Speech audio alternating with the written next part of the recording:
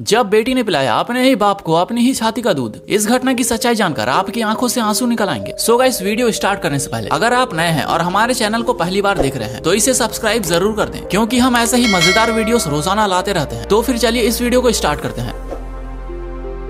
इस फ़ोटो को देखकर आपके मन में तरह तरह के विचार आएँगे, और ये ऑब्वियस भी है। लेकिन इस फ़ोटो की सच्चाई जानकर आप भावुक भी हो सकते हैं। ये फ़ोटो यूरी के एक पेंटर मुरिलो ने बनाया है। एक बार यूरोप के एक देश में एक आदमी को भूखे मरने की सजा मिली थी, और उसे एक जेल में बंद कर दिया गया था। उसकी सजा ऐसी थी की जब तक उसकी मौत नहीं हो जाती है, उसे भूखा ही रखा जाए। इसी कारण से उनकी हालत देख, उनके परिवार वाले बहुत ही ज़्यादा परेशानी में आ गए थे। तो उसकी बेटी ने अपने पिता से मिलने के लिए सरकार से अनुरोध किया कि उसे हर रोज अपने पिता से मिलने दिया जाए। उसे मिलने की इजाज़त दे दी गई। मिलने से पहले उसकी हमेशा तलाशी ली जाती थी कि वो कोई भी खाने का सामान ना ले जा पाए। जब वो अपने पिता से मिले तो उससे अपने पिता की हालत देखी नहीं गई। अब भला कौन बेटी अपने पिता को ऐसी हालत में देख सकता है? तो इसी कारण से वो अपने पिता को ज़िंदा रखने के लिए अपना ही दूध पिलाने लगी। और जब कई दिन बीत जाने पर भी आदमी नहीं मरा तो पहरेदारों को शक होने लगा। तो उन्होंने चुपके से देखा कि आखिर ये लड़की करती क्या है? और जब उन्होंने उस लड़की को अपने ही पिता को दूध पिलाते हुए पकड़ लिया तो उसे भी जेल में डाल दिया गया और उन दोनों पर मुकदमा चलने लगा। गाइज़ और आपको ये जानकर बहुत ही ज़्यादा हैरानी होगी कि सरकार ने कानून से हटकर एक भावनात्मक फैसला सुनाया और उन दोनों को रिहा कर दिया। और क्या आपको पता है, ये पेंटिंग यूरोप की सबसे महँगी पेंटिंग में से एक है। इस घटना के बाद हम ऐसा कह सकते हैं कि ये बात तो बिल्कुल सच है कि नारी कोई भी रूप में हो, चाहे माँ हो, चाहे पत्नी हो, चाहे बहन या चाहे बेटी हो, हर रूप में त्याग और ममता की मूर्त ही होती है। सो गाइस आप हमें कमेंट करके ज़रूर बताएँ कि आप इस घटना के बारे में क्या सोचते हो। गाइस जिस लेडी को अभी आप अपनी स्क्रीन पर देख रहे हो, इन्हें लायन मामा कहा जाता है, क्योंकि इन्होंने अपने बेटी के रेप करने वाले तीन बलात्कारियों को अकेले ही मार दिया था। तो इनकी पूरी कहानी हम आपको अपने अगले वीडियो में बताएँगे। तो हमारे इस चैनल को सब्सक्राइब कर बेल आइकन को ज़रूर दबा लें ताकि वीडियो के आने पर तुरंत ही आपको इसका नोटिफिकेशन मिल जाए। साथ ही हमने स्क्रीन पर कुछ वीडियोस लगाए हैं, जो कि शायद आपको पसंद आएँगे। तो इन्हें एक बार चेकआउट ज़रूर करना। तो मिलते हैं आपसे अगली बार।